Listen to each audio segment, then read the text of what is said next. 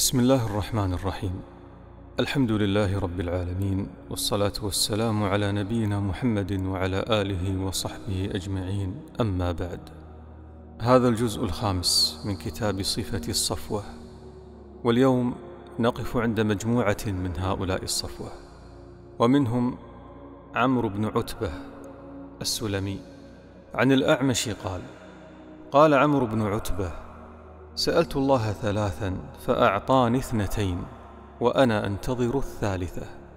سألته أن يزهدني في الدنيا فما أبالي ما أقبل وما أدبر. وسألته أن يقويني على الصلاة فرزقني منها. وسألته الشهادة فأنا أرجوها. عن السدي قال اشترى عمرو بن عتبة فرسا بأربعة آلاف درهم فعنفوه يستغلونه. يعني من حوله من المعارف بدأوا يلومونه بأن هذه الفرس استغلوك وباعوا لك إياها بسعر غالي. فقال اسمعوا ماذا رد عليهم. قال ما خطوة يخطوها يقدمها إلى الغزو إلا وهي أحب إلي من أربعة آلاف. سبحان الله.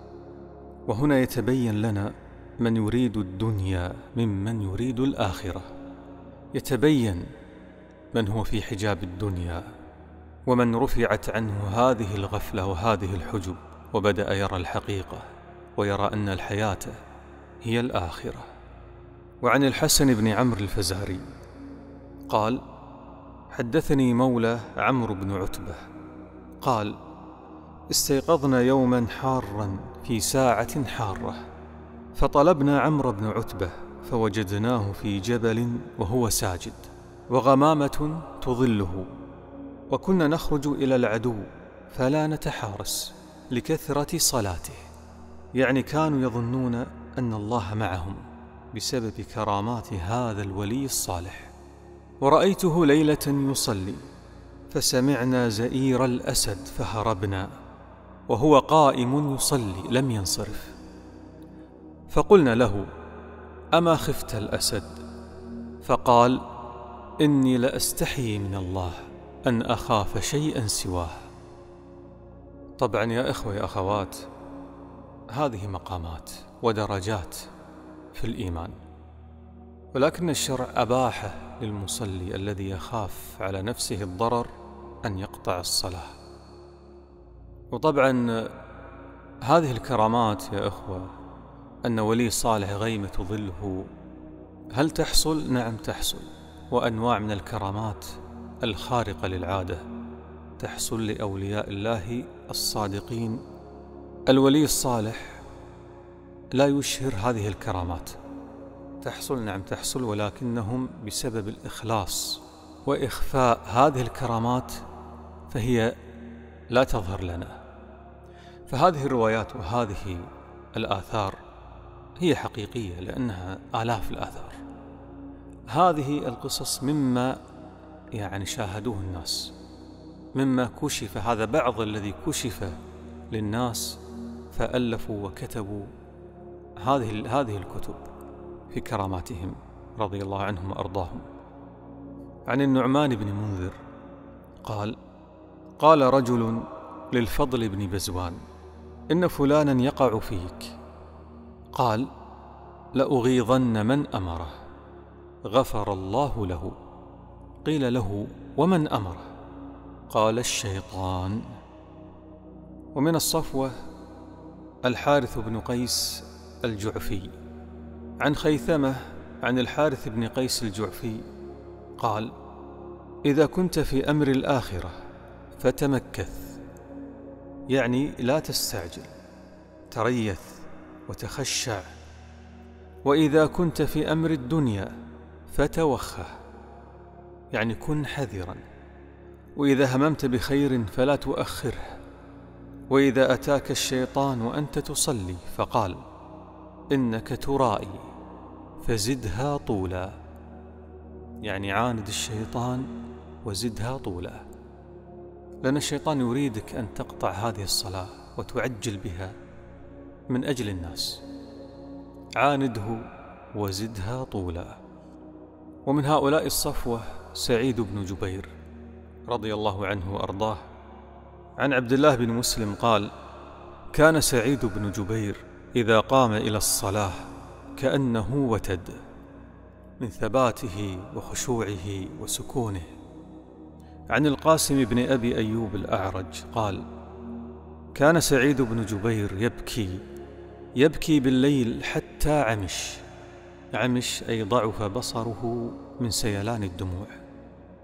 عن أبي سنان عن سعيد بن جبير قال لدغتني عقرب فأقسمت علي أمي أن أسترقي فأعطيت الراقي يدي التي لم تلدغ. وكرهت أن أحنثها.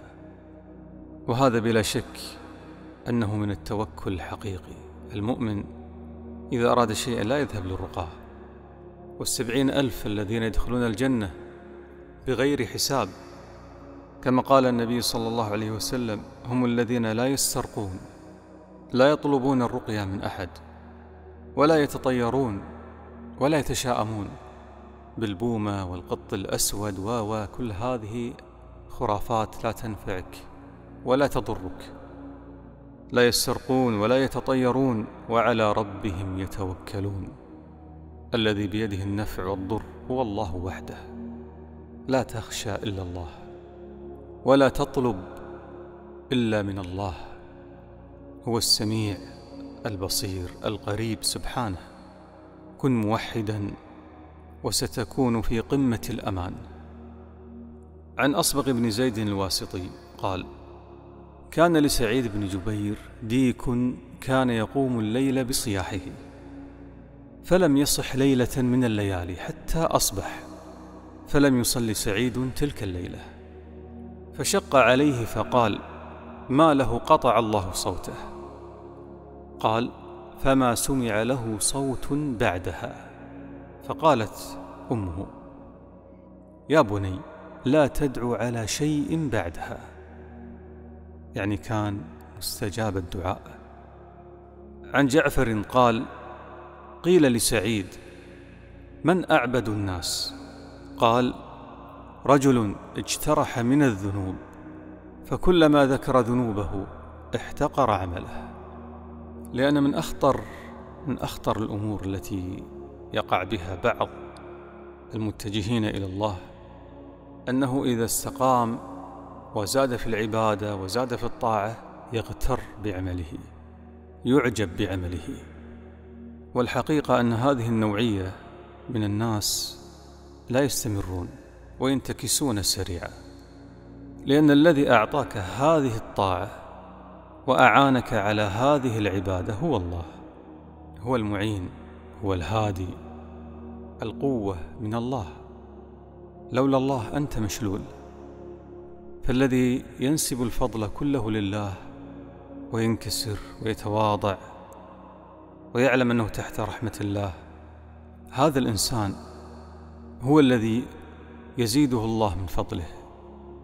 وفي مقتل سعيد بن جبير عن داود بن أبي هند قال لما أخذ الحجاج سعيد بن جبير قال الحجاج طبعا هو هو من قتله سعيد بن جبير. لما أخذ الحجاج سعيد بن جبير قال ما أراني إلا مقتولة وسأخبركم أني كنت أنا وصاحبان لي دعونا حين وجدنا حلاوة الدعاء ثم سألنا الشهادة فكلا صاحبيه رزقها وأنا أنتظرها. فكأنه أي سعيد بن جبير رأى أن الإجابة عند حلاوة الدعاء. ومن هؤلاء الصفوة إبراهيم النخعي. عن الأعمش قال كنت عند إبراهيم وهو يقرأ من المصحف واستأذن عليه رجل فغطى المصحف وقال لا يرى هذا أنني أقرأ فيه كل ساعة. كانوا حريصين جدا أشد الحرص على ألا يجرحوا الإخلاص. والصدق الذي بينهم وبين الله سبحانه وتعالى. وكان إبراهيم النخعي يصوم يوما ويفطر يوما. عن الأعمش عن إبراهيم النخعي قال إني لأرى الشيء مما يعاب فما يمنعني من عيبه إلا مخافة أن أبتلى به.